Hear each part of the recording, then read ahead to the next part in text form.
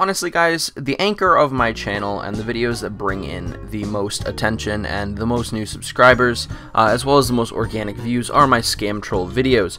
And a lot of you guys are curious as to how I find these scammers. I've seen numerous comments about it, so I figured today I would show you guys how I find my scammers and a couple ways that you guys can also find scammers if you want to do this yourself. Uh, because, you know, as much as I enjoy having this kind of unique aspect to my channel, definitely encourage that you guys do this yourself just because it, it's good for the community and it makes for an entertaining video. As long as you put your own unique spin on it, I don't really see an issue with it. But as you can see, I'm on my second account today. This is Mr. Tom Riddle. Um, I'm, I'm going to tell you guys right now, don't even look for this account because by the time this video is up, all of it's going to be changed and you're not going to be able to find it. This is the account that I use for trolling scammers. It's my private account, and this is uh, not an account that I'm going to add you guys on. So if you guys want to add me, the link to my main account is in the description. Anyways, guys, so the first way to, that you can find scammers, and this is almost a guarantee, although it sometimes does take a little while, is to use CSGO Lounge. Now, CSGO Lounge is supposed to be like a trading website. You put up what you have and what you want, and then people can offer you stuff and directly contact you on Steam. And this sounds like a great concept, but it's really turned into a cesspool for scammers and people who want to steal from you. And I know Matt CS made a video on this a while ago, and this is how he finds the scammers that he trolls. From his videos, he just posts on CSGO Lounge, and then most of the time people will add him fairly soon after he makes a post.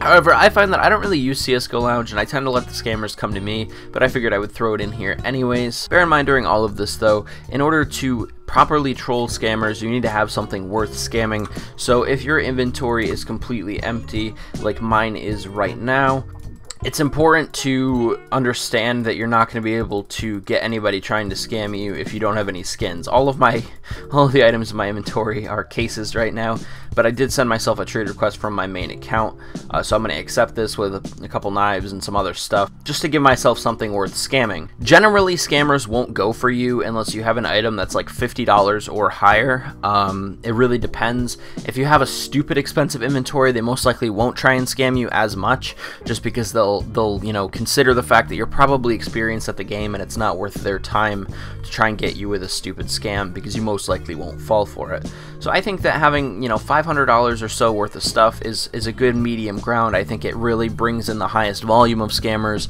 uh, without without overdoing it. So basically, keep your inventory below $500 if you want to do this, and that's why I have a bait account for this. I would recommend making a second account if you want to get into making these videos anyways, uh, but my main account can't be used anymore just because of all of the profile comments that are on it. Anyways, uh, the way that I find all of my scammers that I troll is by my groups on Steam.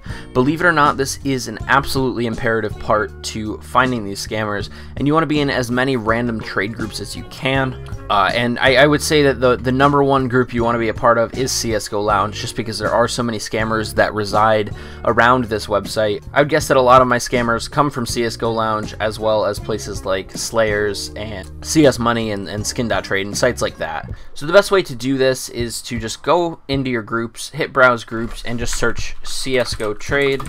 Just search keywords like CSGO Trade or just CSGO, and just join all of the bigger groups that you can definitely definitely join groups like the russian ones and stuff like that. It definitely will encourage a lot of people to see you. Uh, what they do is they go into your group and they go into the members of the group and then they just kind of they kind of click on the most recent people to join and they'll look through their inventories and see what they have. If they don't have any skins they move on to the next person uh, and they, they will do this until they find somebody with something worth scamming so once you find somebody that's worth scamming and you see somebody with a lot of skins in their inventory, leave a comment on your profile or they will just straight up send you a friend request and try and message you there. So I have some friend requests stockpiled here uh, because I have a lot of scammers messaging me. So there isn't really much more to it than that. You just kind of join a bunch of groups, you play the game, and you just wait.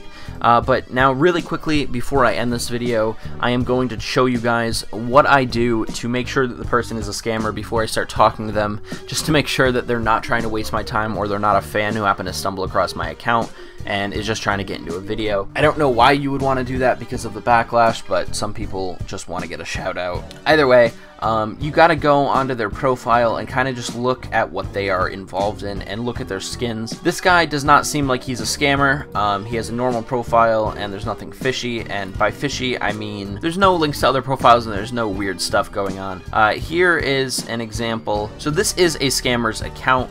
Uh, you can see they have a bunch of different random names. Most people don't really go too far off of their regular alias uh, online and also you can tell just by the artwork showcase the screenshots and the inventory uh, that you can see. Over 5 million skins traded since 2015 yeah I bet. Anyways so you can see that they have a bunch of screenshots here a bunch of keys in their item showcase.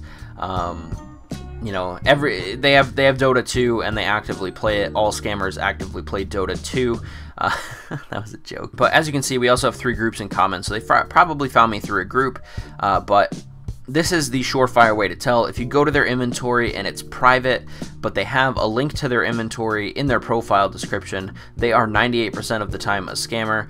So if we click on the person's inventory and then we click on the account that the inventory belongs to, as you can see, it's a completely different account. Now the account is level zero and doesn't have anything going on, so it might just be a vault account, but I still don't believe that it's actually this person's account. The only people that have super, super high tier vault accounts like this are, you know, some of the biggest traders in the world, and they don't just add random people, they let people come to them because they're that established.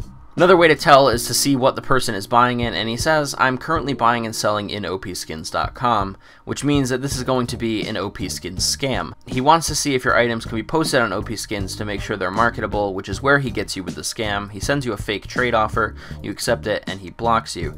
So as you guys can see, this is a scam account. It's important to recognize which accounts are scam accounts and which accounts are just people trying to add you uh, because this will number one keep your items safe and it will also allow you to have some fun trolling people.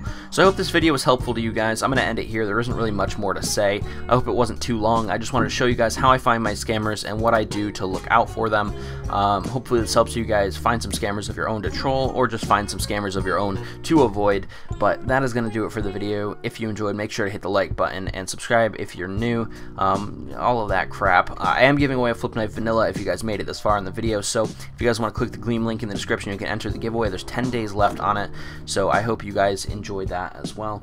Uh, and that's going to do it. I will see you guys in the next video.